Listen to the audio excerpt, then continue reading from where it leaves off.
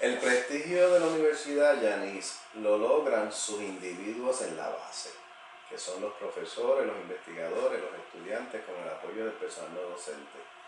El prestigio se debe a proyectos que realzan la actividad académica y que están bien en sintonía con lo que está pasando en el mundo. En el caso de Puerto Rico, pues el mundo boricua y también el mundo exterior nosotros tenemos que asegurarnos de que logramos que cada profesor con su estudiante, su investigador y, el personal docente trabajen en empresas que le provean prestigio a la universidad y ingresos, ingresos adicionales. Eh, en el ejemplo mío, ¿verdad? porque yo lo que propongo a la universidad es que se descentralice y que por las destrezas que he tenido en estos 13 años con el Instituto Filius, pues eso es una empresa de prestigio. ¿Cómo lo logramos? Estando bien enfocados, estando actualizados, siendo rigurosos en lo que hacemos, trabajar en calidad, porque la calidad es importante para ser competitivo y en la productividad. Así que eh, eso quiero traerlo al mundo de, de mi universidad, ¿verdad? Proponiendo estos cambios, pero en la base, que es donde está la acción más importante de nosotros.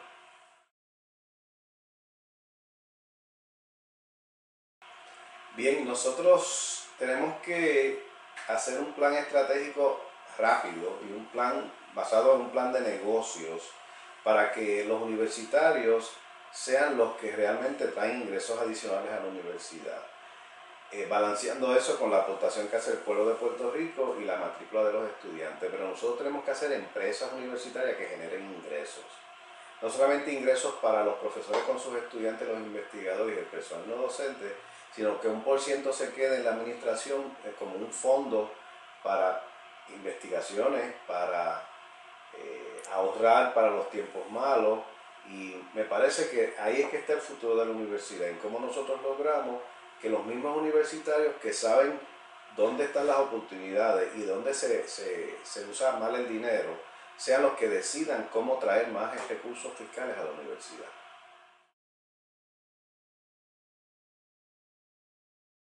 La primera situación que atendería es cómo lograr eh, excelencia, eh, mejorando la productividad y balanceando el presupuesto. Esas tres cosas están, tienen que estar unidas mejor, más ingresos a través de, productividad en excelencia.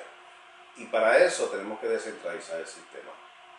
Porque estamos en una época en donde hay mucha gente que sabe mucho de sus cosas, sabe dónde están las oportunidades y tenemos que facilitar que haga sus proyectos sin una burocracia excesiva como lo que hay ahora mismo. Tenemos que simplificar los procesos, hacer una ingeniería de cómo hacemos las cosas para que seamos competitivos, porque las universidades privadas aquí y las universidades afuera se mueven mucho más rápido que nosotros. Y ese mundo de allá afuera que tiene oportunidades no puede esperar tres años por una propuesta, la siendo exagerado, cuando otras universidades te la preparan en tres semanas. Así que esa, es mi primera actividad, lograr esa descentralización para lograr excelencia, productividad y balance fiscal.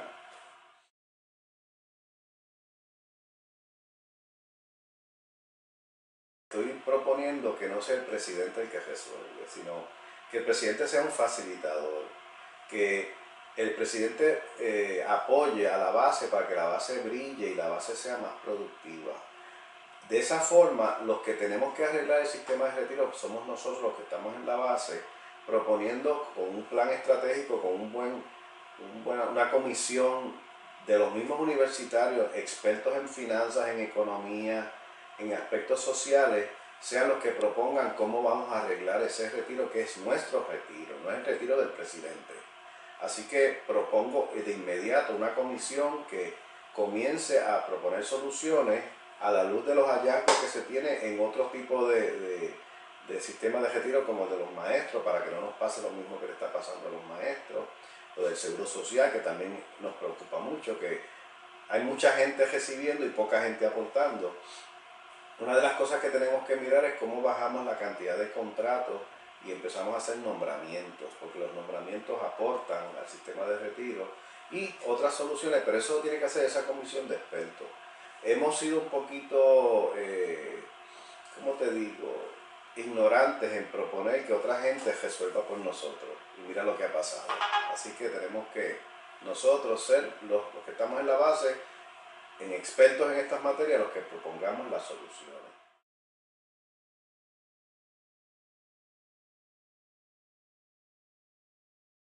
A mí me parece que estas tres fuentes de información tienen que organizarse con toda la universidad de manera más asertiva, de manera que todo el mundo use estos medios para divulgar sus actividades, sus logros, los resultados de las investigaciones, de manera que todos los días el Juan del pueblo, ¿verdad? El, el ciudadano común reciba esta información en un estilo digerido, donde los científicos no le hablan en la jerga esta incomprensible, sino que podemos traducir eso en, palabras que, el ciudadano común puede entender, porque la universidad es mucho más que actividades sociales, también es resultados de proyectos, resultados de estudios científicos, propuestas para solucionar las dificultades del país.